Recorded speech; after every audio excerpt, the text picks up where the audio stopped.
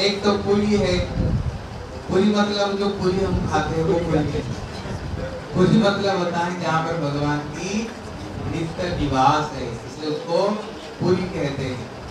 और इसका और एक नाम है शंख क्षेत्र शंख क्षेत्र मतलब ये जगन्नाथपुरी का जो आकृति है, वो शंख जैसी। शंख को विजय कहते हैं ना।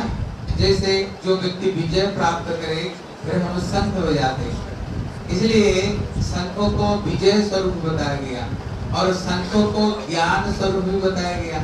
इसलिए इसका नाम एक शंख क्षेत्र जगन्नाथपुरी का जो आकृति, वो संत जैसे। इसका और एक नाम कहते श्री श्री क्षेत्र। श्री क्षेत्र मतलब श्री मतलब श्रीमती राधा रानी। क्षेत्र मतलब होता है स्थान, जो श्री राधा रानी का स्थान है। मतलब राधा रानी का प्रेम को द्वारा संपूर्ण डूबा हुआ जो धाम है, यदि ये श्री श्री क्षेत्र है। और इसका जो चौथा नाम है, इसका नाम श्री जगन्नाथपुरी। क्या नाम है? जगन्नाथपुरी इसका नाम है। इसलिए इसका एक नाम है श्री पुरुषोत्तम। इसलिए आप देखना, जैसे तीन साल में एक बार पुरुषोत्तम धाम, एक बार पुरुषोत्तम महीना आता है। इसलिए यहीं पर इनमें जो पुरुषों को अंदर में जो उत्तम है, कहते पुरुषों को अंदर में उत्तम कौन है? बोले कृष्ण है। और वही कृष्ण ही, ये श्री जगन्नाथ जी, ये कृष्ण ही, ये जगन्नाथ है। इसलिए कृष्ण कौन है? ईश्वर परम कृष्ण सचिदा नंद विग्रह अनादि राधि गोविंद सर्व कारण कारण कृष्ण है। इसलिए जैसे कृष्ण सर्व कारण का कारण है, जब ये धाम भी पुरुषोत्तम क्षेत्र है, सारे धाम में ये धाम भी सर्वश्रेष्ठ है।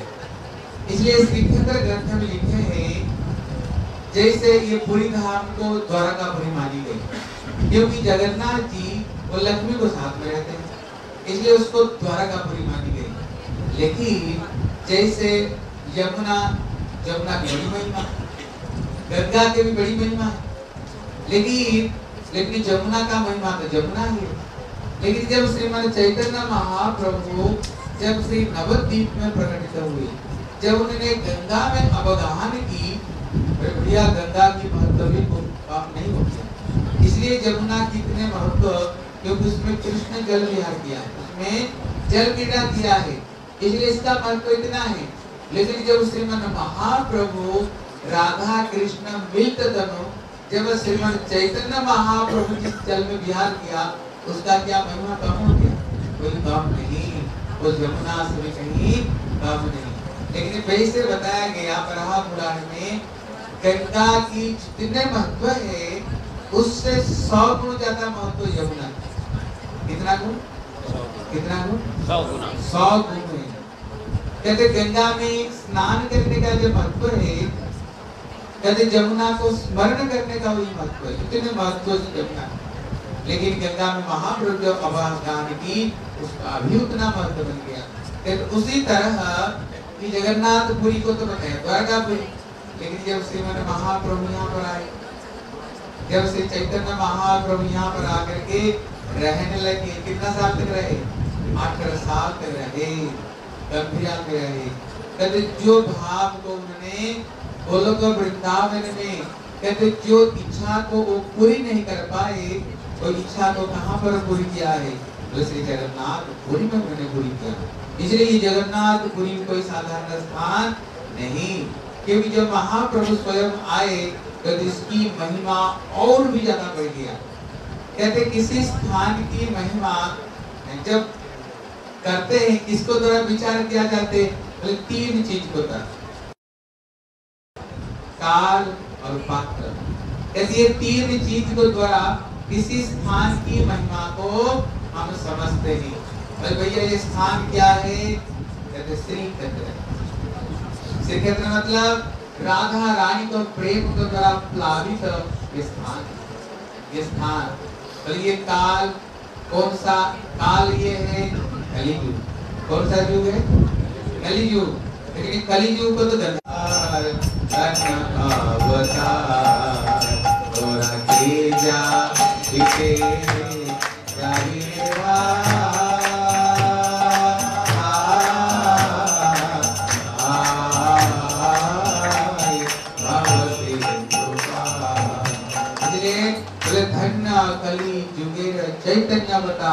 ये कलिजुग साधारण कलिजुग नहीं जिसमें श्रीमद महाप्रभु ब्रह्मा का एक दिन में एक बार आकर के वो दुर्लभ प्रेम को प्रदान करते हैं, इसलिए जो स्थान है कलियुग कहते भैया पात्र कौन है?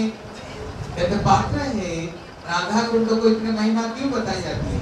कहते वहाँ पर केवल उन्होंने सौभद्र गोपियों को लेकर मिला करके। इसलिए राधा कुंड कितना महिमा?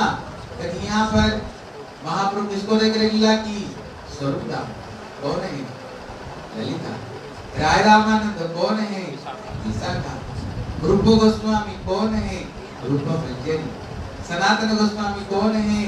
लगभग रंजनी इसलिए उन्होंने जो गंभीरा में जो लीला करते हैं तो उन्होंने अपना प्रिय परिकर मंजरी सखियों को लेकर लीला की। इसलिए ये सिद्धेश्वर ग्रंथ में लिखते हैं जगन्नाथपुरी का महीना जितना था, लेकिन जब से महाप्रभु आकर के यहाँ पर जिस भाव को उन्होंने बोलो तो वृंदावन में भी पूरी नहीं कर पाए वो इच्छा को पूरी उन्होंने पूरी में करते हैं।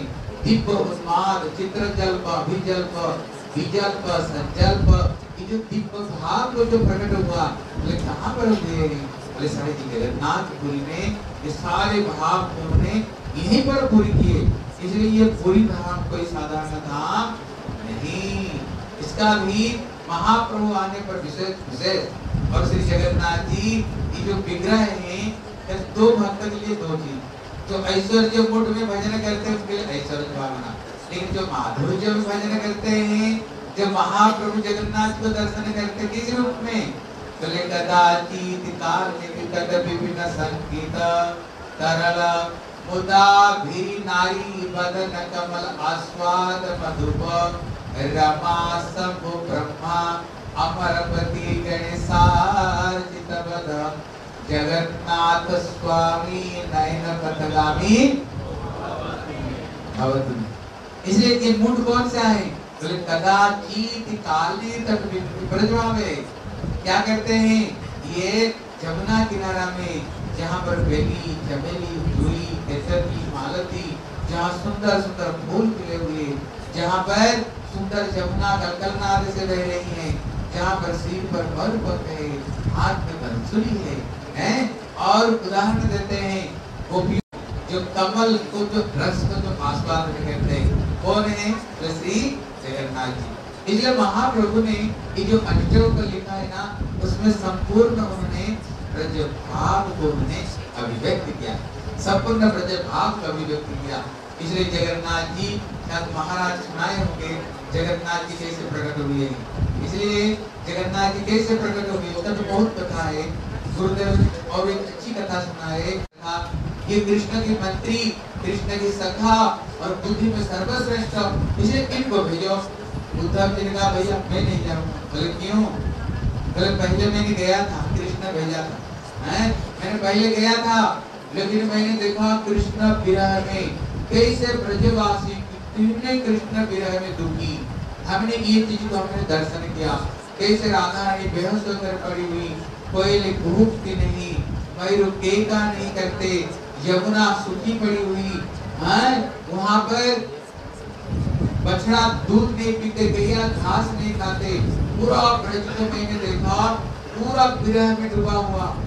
मैंने ये चीज़ को देखा और प्रतिज्ञा करके आया था, कृष्ण को मैं ज़रूर भेजूँगा। लेकिन अभी तक कृष्ण रोते हैं, लेकिन गए नहीं। फिर जाऊँगा ना, बोले को कोई झूठा फेरा। पहले बोल कर गया था लाऊँगा अभी तक लाया नहीं, फिर बोले, फिर किसको दिया जाए? बोले, बलदेव प्रभु को। बोले, भैया, मेरी भी यही स्थिति है। मैंने भी वहाँ पर रास किया, मैंने भी लीला किया अपना गोपियों के साथ में। लेकिन मैंने भी बोला, लेकिन कृष्ण को अभी तक नहीं ले पाया अगर फिर जाऊँगा ना तो फिर वही झूठा बोले, क्या किया जाए? सुभद्रा राज़ी होगी तो मैं चला क्योंकि स्त्री, स्त्रियों को अंदर में जाकर के फिर अपना बात कर सकती है। बोले, मैं गोपियों का अंदर प्रवेश कर जाऊँगा, उनको समझा दूँगा। बोले, ठीक है, ये सुभद्रा में बढ़िया जाए लेकिन हमारी संस्कृति है कभी माताओं को लड़कियों को अगले नहीं भेजते। अगर बहन को भेजे भाई चाहते हैं, अगर पत्नी को भेजे तो पति जाते हैं। पत्नी को कभी अकेला कहीं छोड़ते नहीं मतलब बहन को किसी छोड़ देंगे ताऊ भैया बोले, भैया मैं भी चलता हूँ, कोई बात मैं चलता हूँ।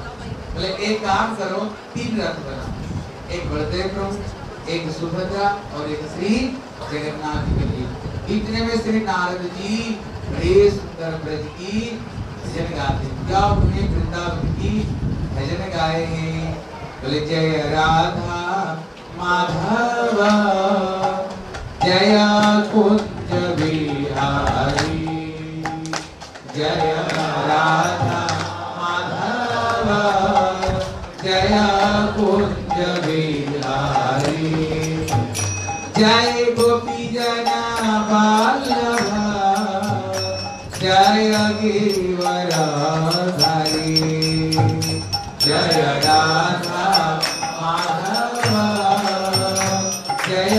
कुंज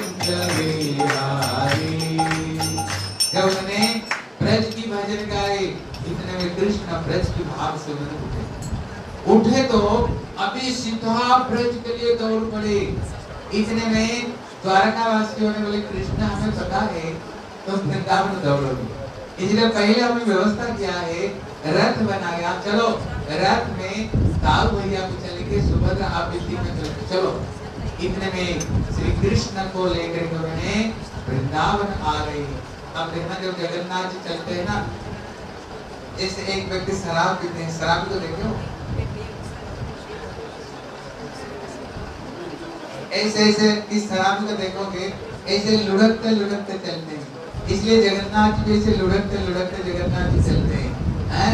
और जब रथ में लेकर के चले, लेकिन उधर क्या? बोले, राधा रानी को सुंदर कमल पुष्पों की सज्जा में लेकर के रखे शरीर में अगुर चंदन कर्पू का लेप दिया है। और राधा रानी विरह में सारे कमल फूल चुरचुर हो रहे हैं। कर्पूर अगुर चंदन, वो भी चुरचुर हो रहा है। राधा रानी कह रही मैं और ये शरीर धारण नहीं कर सकती हूँ। परसों बोल के कभी परसों हो गए। अभी तक अभी वो श्याम सुंदर आए नहीं।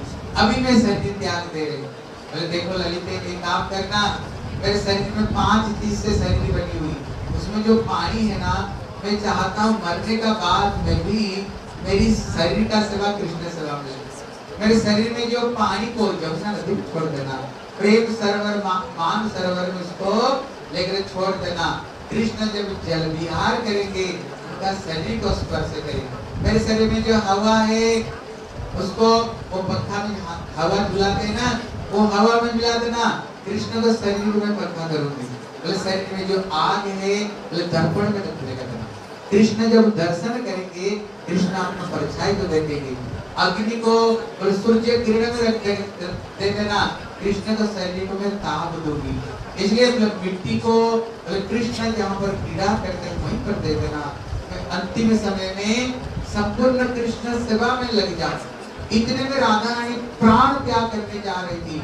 और श्री श्री कृष्ण वहाँ पहुँच। गए जब कृष्ण पहुँच गए, ललिता कहती है, राधे अभी प्राण का त्याग करो। बोले, क्यों? बोले श्याम सुंदर आ गए। आ गए? बोले हाँ। बोले, कहा? बोले श्याम सुंदर इतने में कृष्ण राधा रानी को दिव्य भाव को दे करके राधा जी की ऐसे दिव्य उन्माद प्रेम था जिसको देख करके कृष्ण स्वयं द्रवीभूत होकर के श्री जगन्नाथ हो इसलिए जो जगन्नाथ जी का जो स्वरूप है, वो राधा रानी की प्रेम को देख करके ये द्रवीभूत रूप श्री जगन्नाथ। बोले, जय जगन्नाथ महाप्रभु की यदि जो ताऊ भैया, वो भी राधा जी की प्रेम को देख करके ऐसे हो गए।